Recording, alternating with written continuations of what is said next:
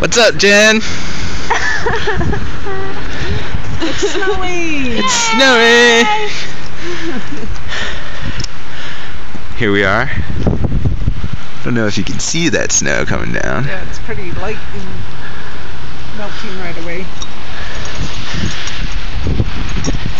Maybe on the coat. We're looking at the snow with Yeah, you black can't really tell. background. It's not coming. Nope, that's not a video, is it? Yeah, it is. Darn it.